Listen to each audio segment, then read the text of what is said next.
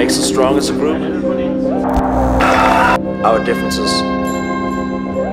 We create our own space. And that space is like addictive. We piss each other off all the time.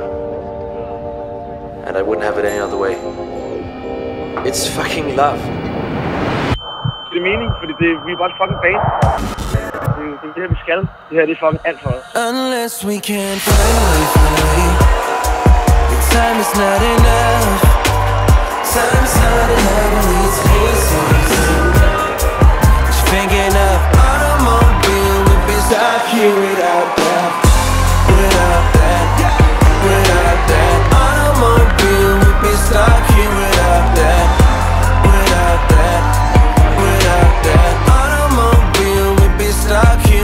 without that.